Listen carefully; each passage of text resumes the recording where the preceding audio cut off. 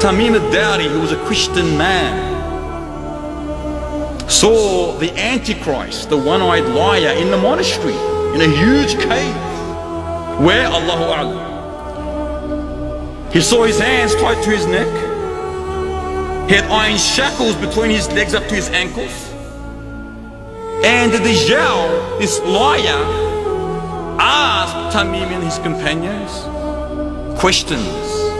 He said to him, how is the date palms of Baysan, a place in Jordan, do they bear fruit? He asked him, how is the lake of Tuburiyah in Palestine? Because what do you want to know about it? Does it hold water? He said, it holds a lot of water. It's full. Soon it will be empty. Soon it will be empty. Gog and Magog will gobble it down. Then he kept asking him questions until he reached and asked him, how is the unlettered prophet? Muhammad sallallahu alayhi wasallam, what has he done? Did the Arabs fight against him?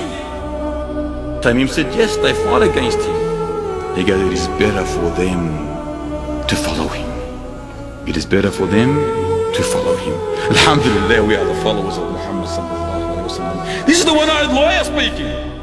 This is the Antichrist speaking. This is the Dajjal in himself speaking, saying it is better for them to follow him. Are you not happy that you are a follower of Muhammad He's a liar, but he spoke the truth. This liar is a liar, the biggest liar. He's a devil. Yet he's spoken the truth. It is better for us all to follow him. Then he said, I'll tell you about myself. I am the Dajjal.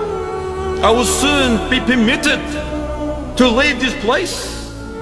I will travel the earth. I will have 40 days in which I will pass through every single town except Mecca and Medina. Every time I try to enter either one of them, I will be met by an angel bearing an unsheathed sword, uncovered sword, preventing me from entering it. He is from among the offspring of Adam, this Antichrist, this one-eyed liar. He will be given 40 days, but one of those days will be like one year. Another will be like one month. A third would be like one week. And the rest of the days would be like our normal days. He was described as being huge, a huge man, red complexion, short curly hair, one eye. The other eye looks like a floating grape. Between his two eyes, written Kafir. Kafir, the dirtiest word that can ever be written. Everyone can read it except the Kafir. Every single Muslim will be able to read this word, literate or illiterate, except those who are not believers, except those who follow him. He mentions, Sallallahu that no tribulation on earth since the creation of Adam will be worse than the tribulation of this liar of the Dajjal. He will begin by saying, I am your prophet. But there will be no prophet after me, Sallallahu said. Then he will claim that he is the Lord, he is your Lord. But you will not see your Lord until you die. He will be given the authority, the power over one man whom he will kill and then cut in two for sword. He will say, look at this slave of mine. I will resurrect him. And he will still claim that he has a Lord other than me. So Allah Ta'ala will resurrect him. And the Dajjal will ask him, who is your Lord? He will say, my Lord is Allah. Look, What a beautiful saying. Who is our Lord? Our Lord is Allah Ta'ala. And he will say that you are the enemy of Allah Ta'ala. My Lord is Allah and you are the enemy of Allah. You are the Dajjal. And he will say, by Allah, I have never been more sure of this than I am today. And Muhammad said about this person, he will have the highest status among my ummah in paradise. Wouldn't you like to be this person?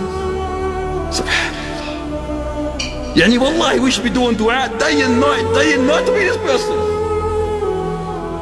Imagine being that person, know, it's just imagine it. How beautiful. The greatest martyr and the highest person in paradise. Who are his followers? The majority of his followers are Jews. One narration says 70,000 Jews. And likewise Arabs.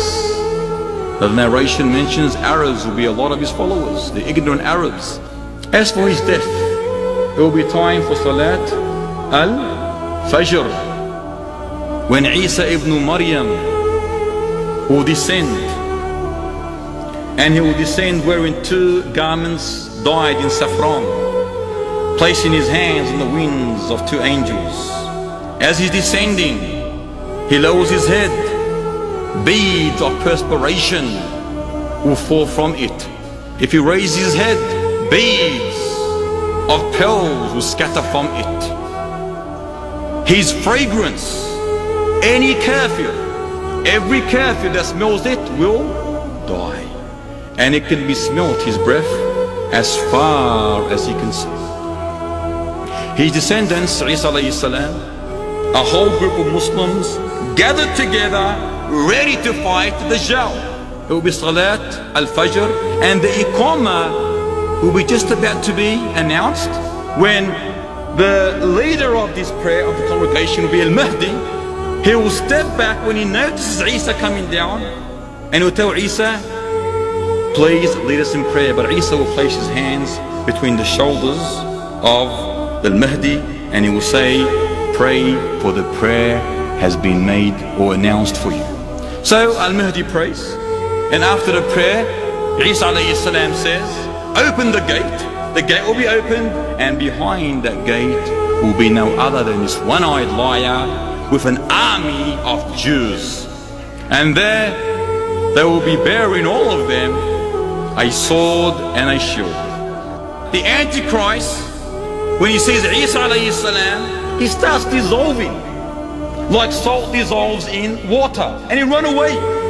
But Isa will call out and say to them, say to him, you will not die until I strike you with my sword. So he, he will meet up with him on a gate called the Eastern Gate of Ludd. This is all in the Middle East. And there, Isa alayhi salam will strike him with his sword and he will die. He will die. And all the Jews, his army will be deflated. Thus, Isa and the companions will win over these evil people and they'll at the same time do dua, pray for Allah Ta'ala to destroy Gog and Magog because Gog and Magog will be in that time.